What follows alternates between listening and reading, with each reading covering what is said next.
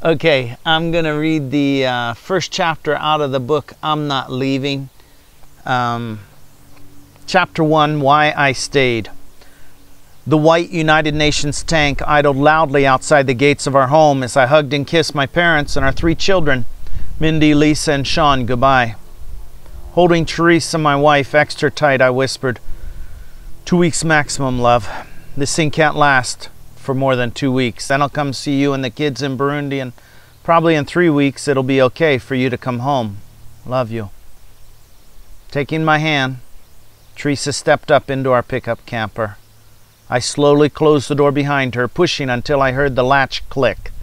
Then I headed down the driveway. As I opened the gate, Colonel Luc Marchal, the commander of the Belgian troops in the UN force, emerged from the tank manhole and jumped down to my level. While shaking his hand, I couldn't thank him enough for escorting my family to the evacuation assembly point at the U.S. ambassador's home. The colonel didn't want to leave Rwanda, this picturesque little jewel on the belly button of Africa, till he felt he had done everything possible to complete his mission of evacuating all the foreigners. With their rifles at the ready, his men formed a circle around the perimeter of the tank. Our pickup camper crept down the driveway and poked its nose out onto the dirt road as the Belgian soldiers piled back into the tank and led the way. Less than a hundred meters down the road stood a barrier, nothing but a log that was raised up on two stones to indicate an ID checkpoint. Those manning the barrier scattered as the tank approached. I watched Colonel Marchal once again climb out of his vehicle and pitch the log aside. He could easily have drawn over it, driven over it, but it would have been a problem for our pickup. My dad was at the wheel and sticking to the back side of the tank like a magnet. In fact, when they got to the intersection, the tank couldn't make the right hand turn in one swing. As it started to roll back to make a second cut, Dad wasn't able to get the camper into reverse quickly enough. The track of the tank actually backed into the pickup camper and broke the parking light on the right front fender just as Dad popped the truck into gear and lurched backwards. I stood there barefoot in the middle of our dusty street, waving goodbye to the most precious people in my world. The armadillo, that's what we called our camper, waddled around the corner as I lowered my hand. Looking around, I wanted to be sure our neighbors saw that I was not leaving. If any of them had ideas about busting into our home and going after Anita, the young lady who worked for us, or Janvier, our young night watchman, I was going to be there. I didn't know what I'd do if we were attacked, but I would be there.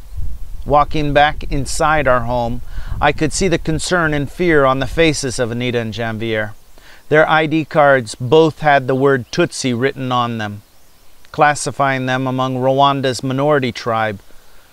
But now it was more than a tribal marker, it marked them for extermination. For Teresa and myself, Anita and Janvier put a very real face on all the Tutsi people of Rwanda.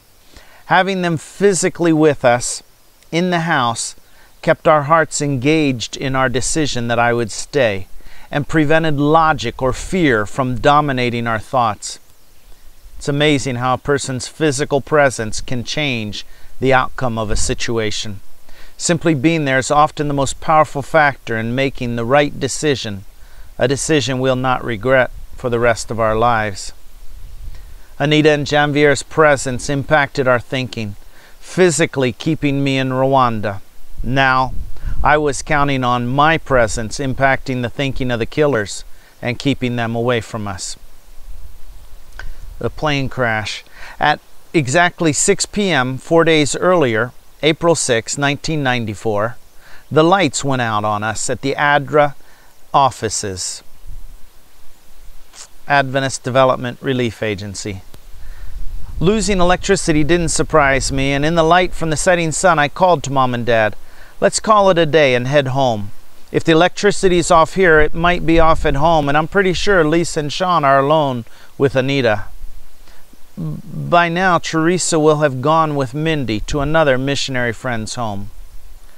Four years earlier, in March 1990, Teresa and I had come to Rwanda with our three children, whose ages were six, three, and one and a half years at the time. I was the country director of ADRA, the humanitarian arm of the Seventh day Adventist Church. Dad had arrived in Kigali in January 1994 to manage the financial side of a post war clinic rehab project, and Mom had come for the last three weeks of his stay. They both were scheduled to return to the States in five days. Yeah, the footnote says there was a three year civil war in Rwanda from 1990 to 93, before the genocide. The lights were on as we pulled up to the house, which was a good sign. Electricity had been pretty sketchy in the evenings recently. After dinner, everyone was busy doing his or her own thing when we heard a louder than normal explosion. I say louder than normal because grenade explosions around the city had become rather commonplace. The international community was forcing democracy on Rwanda. Both the World Bank and the International Monetary Fund were saying they would no longer fund a one party state. Overnight, more than a dozen political parties sprang up. The arrival of this democracy brought instability and expressed itself with increasing levels of petty and sometimes not so petty crime. Apparently, many people now thought they could do whatever they pleased. That was a loud one, Dad said. Yeah, I replied. I wonder if it was an ammunition stockpile or something. We didn't think much more about it until the phone rang 20 minutes later. Jake, a Canadian friend teaching at the Adventist University located in the northwest corner of the country, asked, Can you see the flames? What flames? I asked.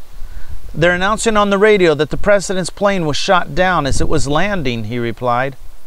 Wow, we did hear an explosion.